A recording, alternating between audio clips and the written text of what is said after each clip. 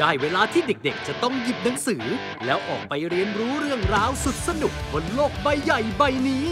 ในหาให้อ่าน The Reading Hero ในแต่ละสัปดาห์ครับ คู่หูนักอ่านแต่ละคู่ จะต้องทำภารกิจตอบคำถามเกี่ยวกับสถานที่ต่างๆจำนวน 2 ข้อ เพื่อสะสมขุมทรัพย์หนังสือ ให้กับเพื่อนๆ โรงเรียนสังกัดกองบัญชาการตำรวจตระเวนชายแดน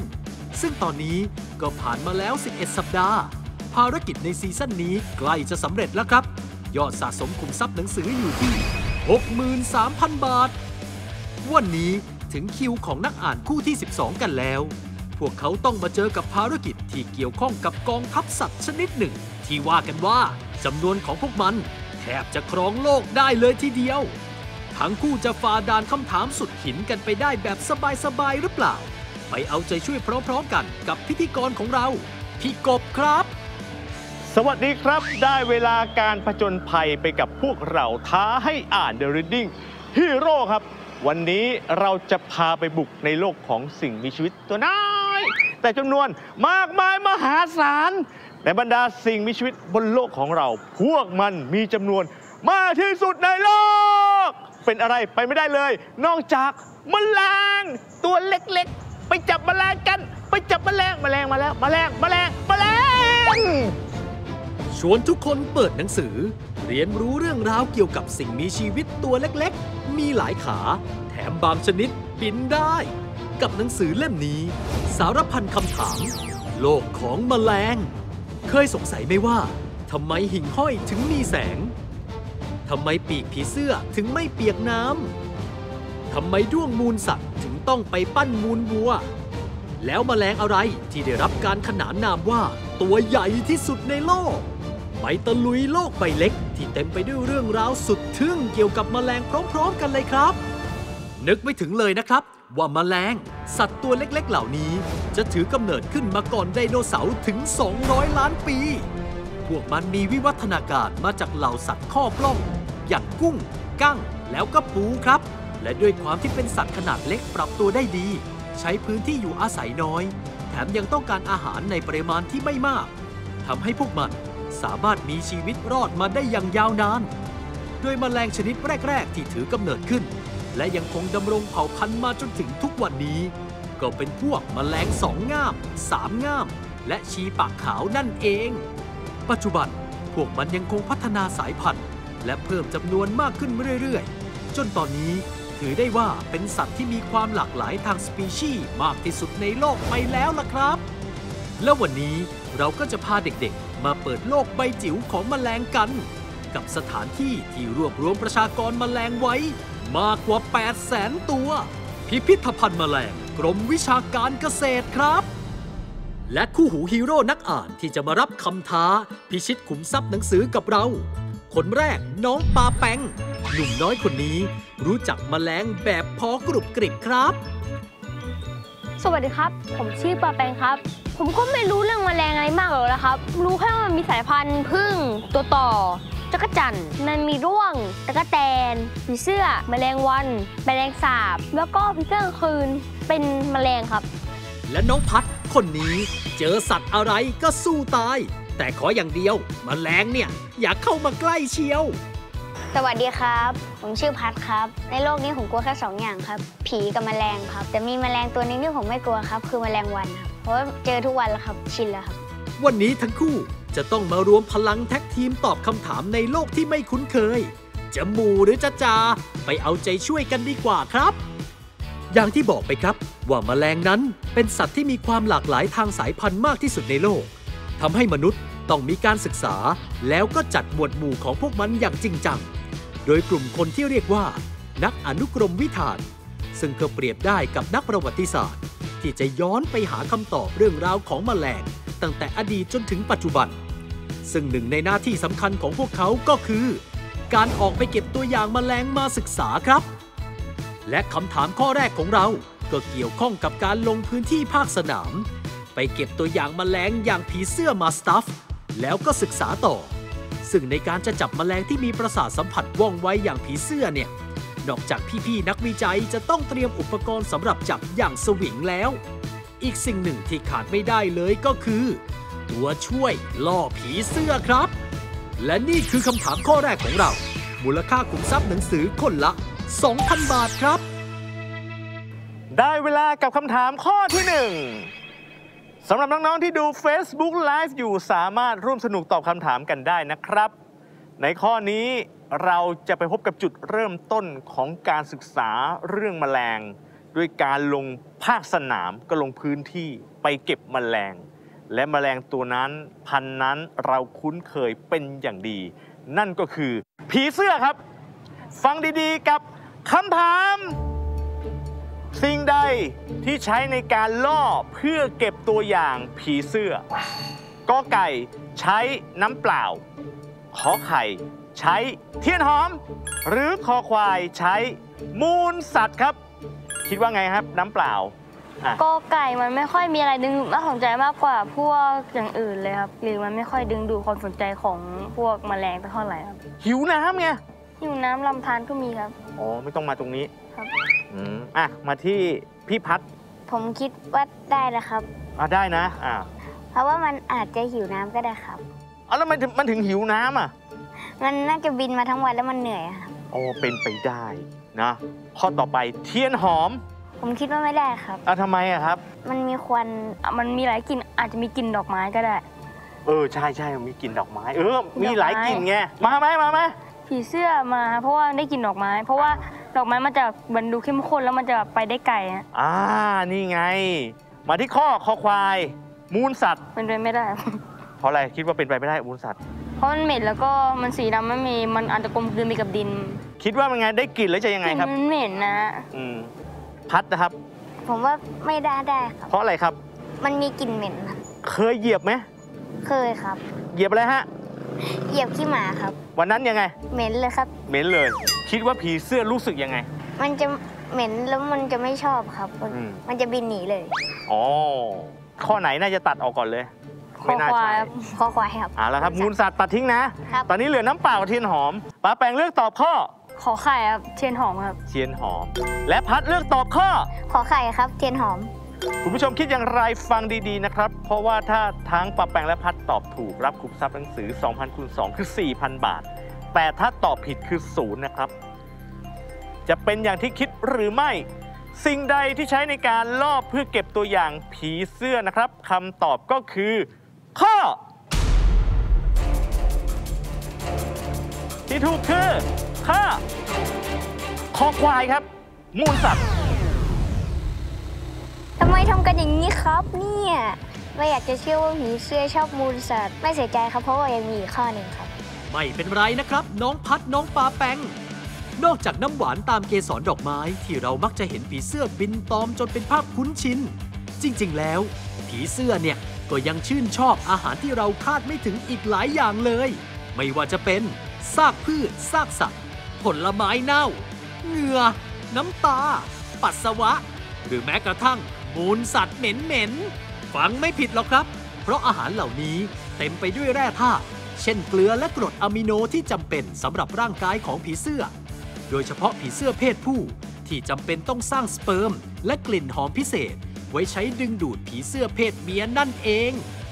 ข้อนี้พลาดไปทั้งคู่ ดังนั้นเพื่อนๆโรงเรียนสังกัดกองบัญชาการตำรวจตระเวนชายแดน ยังไม่ได้รับขุมทรัพย์หนังสือไปนะครับ เมื่อเก็บตัวอย่างแมลงจากธรรมชาติมาแล้ว ขั้นตอนต่อไปก็จะต้องนำแมลงที่เก็บได้มาจำแนกชนิดครับ แล้วจึงนำข้อมูลต่างๆ ไปจัดทำเป็นบัตรประชาชนแมลง ติดกำกับเอาไว้ให้กับแมลงตัวอย่างที่เราจัดเก็บทุกตัว ซึ่งการจะจัดเก็บแมลงตัวอย่างแบบถาวรนนั้น ก็สามารถเก็บได้หลายวิธี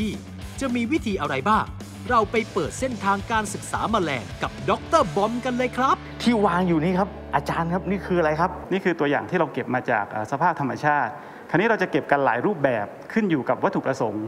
ในการจำแนกชนิด แมลงบางอย่างเนี่ยมันตัวเล็กมาก เล็กน้อยกว่า 1มิลลิเมตร เพราะฉะนั้นก็ต้องเก็บในลักษณะของสไลด์นะฮะเป็นตัวอย่างของเอ่อแมลงหวีขาวนะฮะแมลงหวีขาว ใช่ครับโค้ดอาจารย์รู้ได้ไงมันสีขาวมันเล็กมากๆเลยมองก็ไม่รู้เนี่ยใช่ครับคราวนี้วิธีวินิจฉัยชนิดของแมลงหวีขาวเนี่ยก็ต้องส่องกล้องนะฮะใต้กล้องจุลทรรศน์สเตอริโอไมโครสโคปด้วยความเล็กของมันเนี่ยหน้าตาของมันก็จะคล้ายกัน เพราะฉะนั้นเวลาเราส่องกล้องโดยใช้กล้องเอ่อจุลทรรศน์เนี่ยครับก็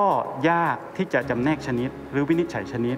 ยิ่งปัจจุบันเนี่ยหน้าตาเหมือนกันหรือคล้ายกันมากเนี่ยคนละชนิดกันก็มี เพราะฉะนั้นเลยเราจึงต้องใช้ DNA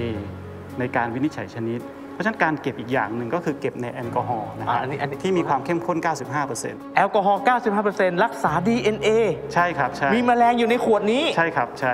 ส่วนลำดับที่ 3 ในนี้ที่บนโต๊ะนี้ก็คือที่เราเห็นกันทั่วไปนะครัฮะบเราก็คือ คือใช้การสตาฟนะฮะหรือการเซตแมลงนะฮะเอ่อรู้ไหมว่าแมลงมีกระดูกอยู่ข้างนอก แต่เนื้อเขาเนี่ยจะอยู่ข้างในตัวแมลงหุ้มอยู่ที่คือกระดูกใช่ครับเหอใช่ เลยเหลือเฉพาะเฉเฉพาะโครงกระดูกของเขานะฮะโอ้ก็เลยสตาฟได้ง่ายครับผมปีกนี่ถือว่าเป็นกระดูกแล้วครับอาจารย์ใช่ครับใช่ใช่โอ้โหตัวตัวปีกเนี่ยเป็นกระดูก แต่ตัวที่เป็นสีสันเนี่ยคือเกล็ดของปีกคล้ายๆเกล็ดงูนะฮะไม่ได้เป็นเกล็ดของปีกฮะ โอ้โห ส่วนที่คราวนี้แข็งในๆการนี่คือด้านนอกหมดเลย ใช่ครับ ในการสตาฟแมลงเนี่ย เราจะพยายามสตาฟให้ลักษณะเหมือนกับสภาพธรรมชาติมากที่สุดครับ อยากเห็นเลยนะฮะ วิธีการสตาฟนะครับ เด็กๆ เดี๋ยวเราจะเห็นกับตาเลยนะครับ เริ่มจากเราเอาผีเสื้อจากโถชื้นนะฮะ มาใช้เข็มนะฮะปักโดยที่การปักเนี่ยเราจะไม่ปักลงไปปักตรงไหนจนจนหมดเข็มนะฮะ เราจะปักแค่ 3 ใน4นะฮะ เพื่อจะทำให้เอ่อมือเราเนี่ยสามารถจับเข็มเข็มเอ่อ ได้ด้วยนะฮะอ๋อเข็มนี้จะเป็นเข็มพิเศษที่เป็นเข็มไร้เอ่อไม่มีไร้สนิมนะฮะอ้าวเป็นเข็มสแตนเลผมสนึกว่าเข็มทั่วไปไม่ใช่ฮะไม่ใช่อะแล้วเข็มหมุดก็ทั่วไปนะฮะอันนี้เข็มหมุดนี้ทั่วไปฮะอ่าแล้วเข็มหมุดยังไงเนี่ครัยบจะช่วยในการจัดรูปร่างนะฮะเราจะมี 2 เข็มแล้วนะฮะครับเข็มเซตแมลงเข็มกับเซตเข็มปักหมุดปักไปที่ตัวครับผมแล้วเข็มหมุดครับผมแล้ว อันนี้กระดาษใช่ไหมครับ นี่คือกระดาษว่าวฮะกระดาษเป็นกระดาษชนิดเดียวกันกับที่เราใช้เก็บแมลงนะฮะคราวนี้วิธีเซตเนี่ยฐานของปีกคู่หน้านะฮะจะต้องตั้งฉากกับลำตัวของแมลงโอ้โหนะครับเป็นการจัดระเบียบร่างกายแล้วปีกคู่หลังนะฮะครับต้องอยู่ใต้ปีกคู่หน้าครับผมแล้วก็ใช้เข็มหมุดเนี่ยปักบนกระดาษกระดาษว่าวแล้วก็ตรึงตัวปีกไว้ครับผมเก่งกันเหนื่อยเลยล่ะครั้งแรกเนี่ย อันนี้เสร็จแล้วฮะหลังจากเสร็จแล้วนะฮะเสร็จอย่างนี้แล้วเนี่ยเราก็จะเอาเอ่อแมลงนะฮะที่เราเซตเนี่ยไปอันนี้เข้าตู้อบ อันนี้คือเซ็ตแล้วใช่ครับ เราเข้าตู้อบทั้งแบบนี้เหรอครับอาจารย์เออทั้งแบบนี้เลยฮะอ๋อหลังจากแมลงตัวอย่างผ่านกระบวนการทำให้แห้งด้วยการเข้าตู้อบเรียบร้อยแล้ว ขั้นตอนต่อไปก็จะต้องนำไปเก็บรวบรวมไว้ในห้องเฉพาะที่เรียกกันว่า ห้องเก็บรักษาตัวอย่างแมลงที่นี่ รวบรวมแมลงที่เก็บได้จากหลากหลายพื้นที่ทั่วประเทศเลย ถือได้ว่าเป็นห้องที่ประเมินค่าไม่ได้เลยจริง ๆ และเพื่อให้แมลงทุกตัวอยู่ในสภาพที่สมบูรณ์อย่างยาวนานที่สุด เราจึงต้องมีการควบคุมสภาพแวดล้อม ให้เหมาะสมต่อการเก็บรักษาแมลงมากที่สุดครับ เช่น ไม่เปิดให้แสงผ่านเข้ามามากเกินไป ควบคุมอุณหภูมิห้อง และเปิดเครื่องไล่ความชื้นตลอดเวลาเพื่อป้องกันเชื้อรายังไม่หมดเท่านั้นครับ เพราะในห้องนี้ยังต้องมีเจ้าสิ่งนี้อยู่ด้วย นั่นก็คือการบูน และนี่ก็เกี่ยวข้องกับคำถามข้อที่ 2 มูลค่าคุมทรัพย์หนังสือคนละ 3,000 บาท ได้เวลากับคำถามข้อที่ 2สำหรับน้องๆที่ดู Facebook Live อยู่สามารถร่วมสนุกตอบคำถามกันได้ ในคำถามข้อนี้เกี่ยวข้องกับสิ่งที่อยู่ในนี้แหละครับ การระบูนมา แต่นั้นแทน จะมีกลิ่นนะ ใช่ไหมมีกลิ่นนะ มันจะระเหิดขึ้นมานะถ้ากินหอม ฟังดีๆคำถามครับการบูนในห้องเก็บตัวอย่างแมลงมีประโยชน์อย่างไรกอไก่ไว้ไล่แมลงกินซาก ขอไข่ กลบกลิ่นเหม็นของแมลงสตัฟหรือคอควาย ป้องกันแมลงสตัฟเน่าเปื่อย อ่าเอาละครับ พัดว่าไงครับ ไล่แมลงกินซากการบูนมันฉุนครับทำให้เอ้ารู้ได้ไงว่าฉุนอะ ได้กลิ่นบนรถครับ แมลงไม่น่าจะชอบกลิ่นเนี่ยครับคิดว่าแมลงรู้สึกไงล่ะ มันจะปวดหัวครับปวดหัวแล้วมันไม่ไหวแล้ว เออ ไม่ไหวแล้วอะมันก็เลยบินหนีไปเลย อ๋ออันนี้คิดว่าไล่ได้ ครับ อะได้ได้ครับ ปลาแป้งอะ ผมว่าไล่ไม่ได้ครับเพราะอะไรครับ แมลงบางตัวอาจจะชอบกินทุนก็ได้ครับถ้ามันชอบมันจะยังไงล่ะ ถ้ามดมันชอบมันก็จะเรียกเพื่อนมาด้วยครับแล้วมันจะมากินซากคุณเลย โอ้โหปาร์ตี้อิ่มน้ำสำราญนะ ครับ เออ อะ ข้อขอไข่กบกลิ่นเหม็นของแมลงสตัฟครับ คิดว่าไงอืมได้ครับหืมกบกินได้ เพราะกลิ่นมันฉุนนะครับ แล้วกินของแมลงสตับฉุนฉุนๆอะไรอะ ฉุนซากเพราะมันหมักหมมอะอ่าก็เลยใช้การบูนแล้วมันดีขึ้นยังไงไหม มันดีขึ้น เพราะว่ากลิ่นกระบูมันทับไปหมดเลยอะโอ้อ่ามาที่พัดอ่าว่าไงกบกลิ่นเหม็นของแมลงสตับอ่าคิดว่าได้ครับ เพราะว่า ผมเดินเข้ามามันได้กลิ่นการบูนครับ อืมอืมเวลาเวลาที่คนมาเที่ยวพิพิธภัณฑ์แมลงอะครับ อืมเขาได้กลิ่นการบูนอาจจะสดชื่น แล้วถ้าไม่มีอะ เอ่อแมลงมันมีกลิ่นเหม็นครับมันเป็นซากสัตว์คนเข้ามาก็เลยไม่ชอบกลิ่นครับเขาอาจจะกลับบ้านเลยโอ้เลยต้องใช้การบูนนะครับกบกลิ่นเหม็นของแมลงสตับนะอะข้อขอควายป้องกันแมลงสตับเน่าเปื่อยไม่น่าได้ เพราะมันเป็น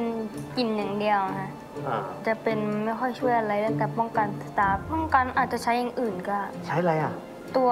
ทำให้มันแบบคงตัวฮะทำให้มันอยู่นิ่งๆฮะอ่า ทำให้มันแข็งตัวจน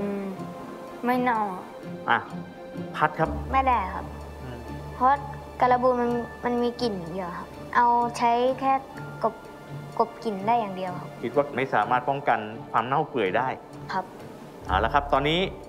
มีอยู่ 2 ข้อคือไล่แมลงกินซ่ากกับกลบกลิ่นเหม็นของแมลงสตับอาจจะยังไงฮะเชิญคุยกันครับ คิดว่าอะไร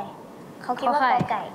โอเคแล้วก็ไล่แมลงกินซากใช่ไหมไอเนี้ย เข้ามา ยังไม่เห็นแมลงแมลงที่มันมีชีวิตมีชีวิตสักกระตัวหนึ่งเลยเพราะว่ามันมีกลิ่นการบูนอยู่ด้วยผมว่าขอไข่เพราะว่ามันใส่ทุกตู้มันอาจจะไม่เอาไว้ป้องกันไอ้กะเอิ่มแมลงก็ได้เพราะว่าขนาดฟอสซิลยังใส่เลยฟอสซิลมันก็ไม่ยินมากนะ ได้เราตอบกอไก่นะ ของปลาแปงผมไม่มั่นใจเหมือนกันแต่ผมมั่นใจว่าของผมถูกครับ ถ้าเฉลยมาเป็นคอควายเนี่ยโอ้ยไม่รู้แล้วจะว่ายังไง ต้องมีสักข้อนะฮะกอไก่ไม่ก็ขอไข่นี่แหละครับ สับสนอึดอัดตอนนั้นสับสนอึดอัดมาก ผมไม่มั่นใจแต่ว่าผมว่าข้อนี้ถูกแบบแต่ถ้าพูดเฉลยมันเป็นคอควายนี่จบบริบูรณ์เลยครับ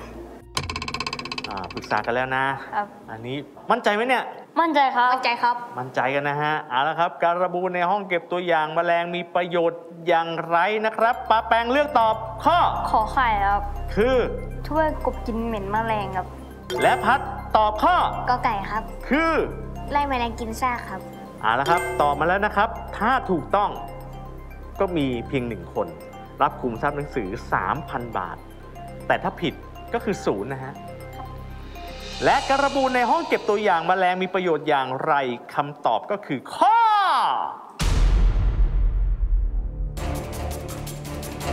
ที่ถูกคือ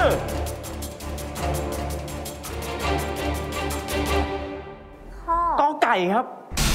ไล่แมลงกินซากอ่าแหมไม่เป็นไรนะครับ น้องปาแปงในการดูแลห้องเก็บรักษาตัวอย่างแมลงนั้น สิ่งหนึ่งที่สำคัญก็คือ